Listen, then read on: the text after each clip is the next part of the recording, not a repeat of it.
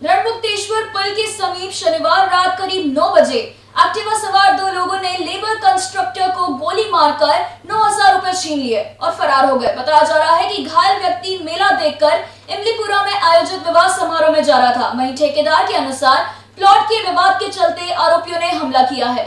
उज्जैन शहर में बढ़ते अपराध के बीच कल रात एक गोली चलाने की घटना सामने आई है। इस घटना में लेबर कंस्ट्रक्टर को पाव में गोली मारकर नौ हज़ार रूपए लूट लिए।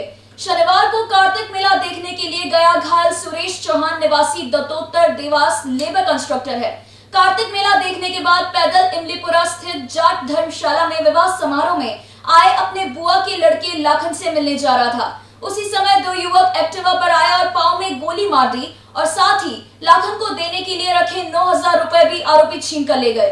घायल ने बताया कि रणमुक्तेश्वर पुल पर एक्टिवा से आए अजहर व मोहसिन ने उसे रोका और पैर में गोली मारी।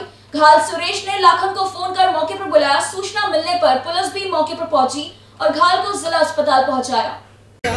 सर मैं मेला देख के वहाँ जा रहा था जाट धर्मशाला। वहाँ कार्यक्रम था मैंने भाई को भाई का काम चल रहा था तो इसने बोला मेरे को लेबर के पैसे देने हैं तो मैं पैसे लेके वहाँ जा रहा था सर। तो वो अजहर और मोहसिन। काय मारा साहब पंद्रह रोज पहले प्लाट की बात हुई थी और मैंने प्लाट लेने की मेरी क्षमता नहीं थी तो उसने बोला था कि भाई प्लाट तू लेगा कि नहीं लेगा? तो मैंने मना कर दिया, सर, मैं प्लाट नहीं लूँ तो बोला